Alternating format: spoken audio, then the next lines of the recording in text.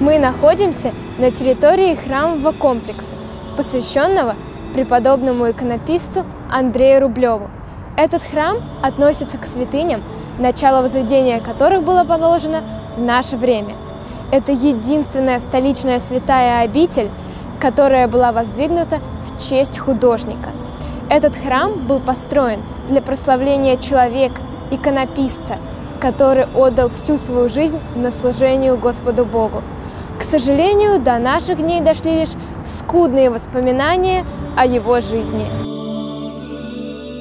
Нет никакой информации, из какой семьи произошел инок, но есть предположение, что его родители были высокопоставленными, образованными людьми, поскольку фамилии во времена его жизни обладали только представители высших слоев населения.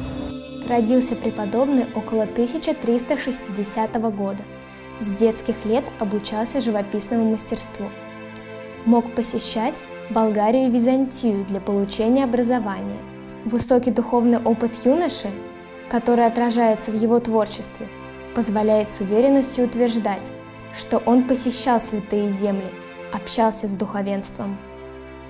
Жизнь Андрея протекала в эпоху трудных испытаний для Руси – кровопролитных битв на Куликовском поле за свободу от татар, нашествий на племенников, пожаров, борьбы с полчищами Тамерлана. Возможно, эти тягостные события подтолкнули юношу к избранию монашеского пути. Андрей Рублев удостоился чести быть канонизированным в качестве преподобного только в 1988 году. Только представьте, это первый в истории церкви храм, который был построен в честь художника. Проект белокаменного храма в Раменках был разработан в 2008 году в мастерской известного архитектора Михаила Филиппова. Высокое качество проекта отмечено искусствоведческой комиссией при Московском епархиальном совете, градостроительным советом и общественным советом при мэрии города Москвы. Храмовый комплекс включает в себя Центр по изучению и современному развитию принципов древнерусского искусства – музей, иконописную мастерскую и художественную школу для детей и взрослых. 24 октября 2008 года произошло долгожданное событие – закладка первого камня. Именно в честь этого был устроен праздник первого ковша. В том же 2008 году подрядчики вышли на площадку и через два года завершили строительство цокольного этажа с нижним храмом. К ноябрю 2010 года было закончено возведение цокольного этажа. Затем был перерыв. Община собирала пожертвования на новый этап работы. Стройка возобновилась только в 2012 году. 26 марта 2016 года состоялось историческое событие. Наш храм посетил советник патриарха Московского и всея Руси Кирилла по вопросам строительства и куратор по возведению в Москве 200 храмов, депутат Государственной Думы Владимир Иосифович Ресин. Важным этапом возведения прихода явилось то, что благодаря усилиям общественности, неравнодушных граждан и самих прихожан, в марте 2016 года строящийся объект был включен в программу, реализуемую правительством Москвы – 200 храмов.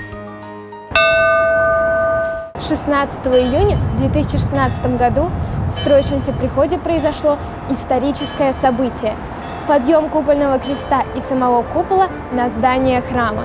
Конструкция в 16 тонн была водружена на крышу собора, и это действие приурочили к престольному празднику в честь Андрея Рублева в Раменках. 30 апреля 2017 года на звонницу храма были подняты освященные настоятелем храма Андреем Голохиным позолоченные купола и кресты. К октябрю 2018 года то есть к 590-летию со дня смерти Андрея Рублева все строительные работы в храме были завершены.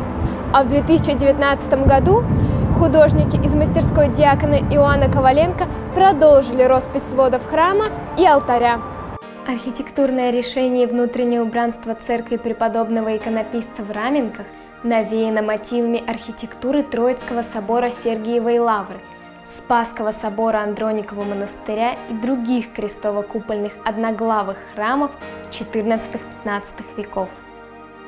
Храм Андрея Рублева в Раменках – единственная действующая каменная церковь в честь святого иконописца, посвятившего всю свою жизнь служению Богу.